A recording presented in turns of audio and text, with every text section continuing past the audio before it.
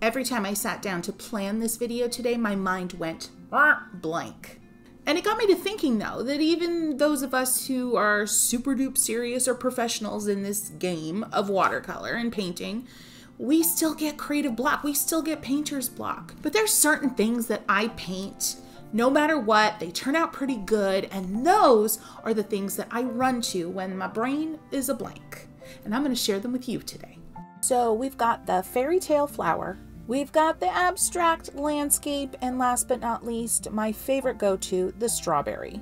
So, you ready to paint? Let's go. Actually, I lied. It's important to note here that when you don't know what to paint, your emotions are typically on high. You're frustrated with yourself. You're going to be really hard on yourself because you're thinking, I should know what to paint. I should be inspired all the time. So, these three little exercises are going to be all about speed and immediacy. We're going to go fast and we're going to just follow our instincts.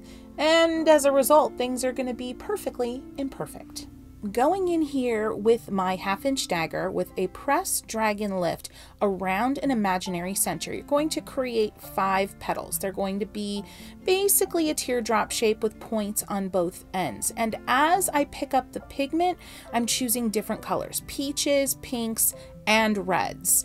And I'm making sure that each of the petals is kind of curved in a different way and ultimately has a different personality one from the other. If you're curious to go in a little more depth about the fairy tale flower, check out this video below. You're going to love it.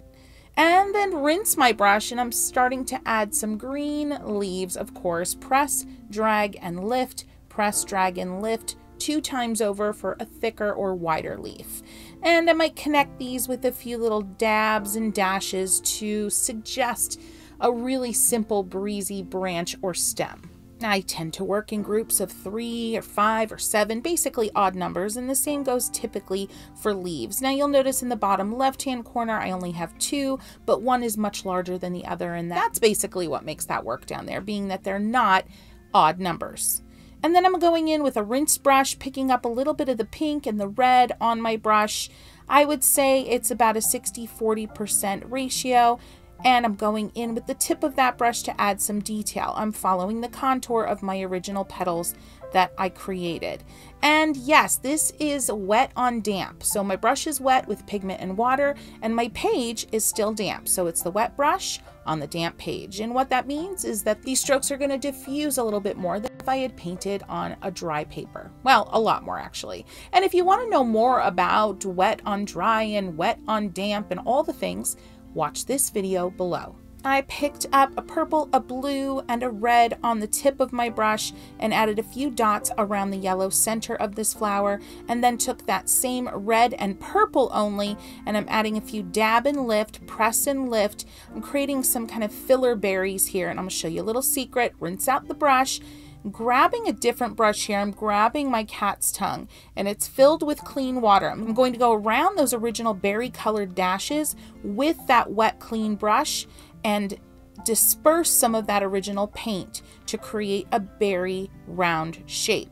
Now, the key to this is continue to rinse your brush in between or else you will just be spreading around that original wet color that you laid down not too long ago. Okay, so here's the little surprise with today's what to paint when you don't know what to paint exercises. I'm using my fun add pencil whenever you feel like a technique. And yeah, I get it. Like adding pencil to watercolor isn't like groundbreaking or legendary, but it's something that I go to often. It's definitely kind of a creative crutch for me when I'm not feeling too confident in myself and in my skills. I bring out that pencil to just sharpen things up and add some whimsy or add some crazy, and I feel much better about life. So, all of these exercises, I'm going to be bringing out the pencil. I'm using an HB. Next up is the abstract landscape. I'm not using reference images in any of these exercises, so feel free to use my paintings as reference if you need that. I'm just going in with my number six round brush and I added a green horizon line and then a simple blue. Yes, I rinsed my brush in between the green and blue to keep my blue nice and clean. I'm adding a blue little swoosh, a little S curve coming down into the foreground and it widens It widens as you reach the front or the bottom of the paper, adding in some purple mountains, some blue mountains, and then rinsing my brush to add some yellowy green and then more emeraldy green in the foreground and middle ground. Little trick everything that is in the foreground appears to the eye to be a little bit more yellow, and everything that's in the distant background appears to be more purple or blue. It's called atmospheric perspective, and if you want to know more about it, I'm going to link a video below where I'm going to get real in depth about this phenomena. It's really cool.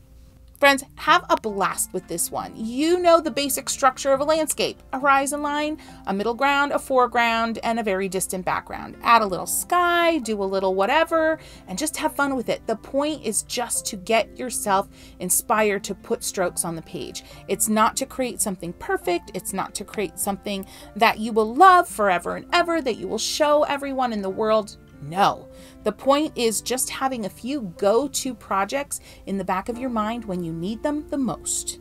All right, heading in now with my pencil, and I want to make this tall mountain here a snow cap. So I'm going above where the purple stops and then creating that little triangle shape to suggest a snow cap going into the foreground, into that yellowy green with some bouncy, scratchy, scribbly marks to suggest like field greens and maybe it's wheat, maybe it's, I don't care what it is. It just looks fun and scratchy and I love it. And then going into the water with some long sweeping strokes following the contour of the original brush strokes. And she's done.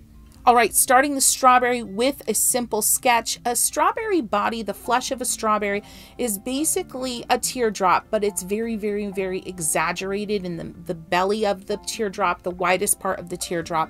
And then on top of that flat part, you've got a pointed end of your strawberry, and then you've got kind of that flat top. On top of that flat top is where you put a couple of leaves.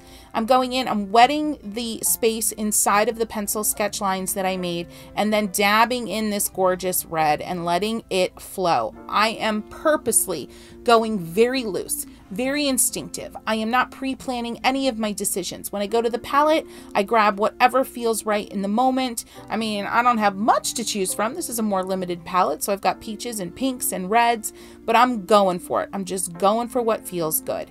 Going back in here with a flat brush and just scooping up some of that red right away. This is a high staining red, so I'm scooping it up right away just to create some highlights. And then boom, in with my cat's tongue, dabbing in that fluorescent yellow to kind of give an idea of where the seeds might be in this strawberry and continuing on with some of the greens. I'm using an olivey green, which basically just feels kind of earthy and has a little bit of a yellow undertone to it, and then bringing in the emerald green. But at this point, friends, you're basically painting in your own sketch. So it's kind of like a coloring book that you've created for yourself. I'm coming in early and hot with that pencil because I already feel like that anxiety of, wow, this strawberry is big and out of control and I don't know how I feel about it.